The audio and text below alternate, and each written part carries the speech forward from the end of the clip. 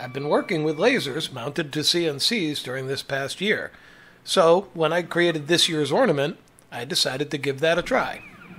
I recently acquired this SD101 from NextWave Automation, and I added the 2 watt laser option to it. The laser is excellent for lightweight engraving and marking.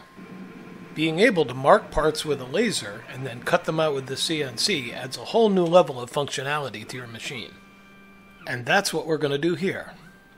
The laser is removed and a 1 8 inch straight bit set up and zeroed out on the stock. Even with lasers more powerful than the 2 watt I have here, a router bit in the CNC spindle is just going to be faster, and you don't get the black edges on everything. The details of the wreath are being pierced through the quarter inch Baltic birch plywood that I'm using. You'll notice that I'm not tabbing any of the small pieces that are being cut out. They're small enough not to be physically dangerous, and there's little enough chance of them interfering with anything. So doing this means I don't have to cut a bunch of tabs and then sand them smooth.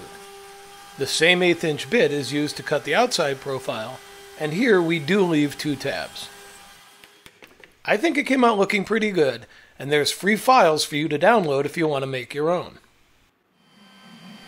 And if your CNC, like my ShopBot desktop here, doesn't happen to have a laser, the text inside the ornament can be just as easily V-carved as laser. In fact, it's probably a little bit easier. With the laser or without, they both look great. They're easy to make and are great gifts to give. Make sure you check out all the free content at woodcademy.com. And be sure to like, share, and subscribe to these videos. It really does help us keep this free for you.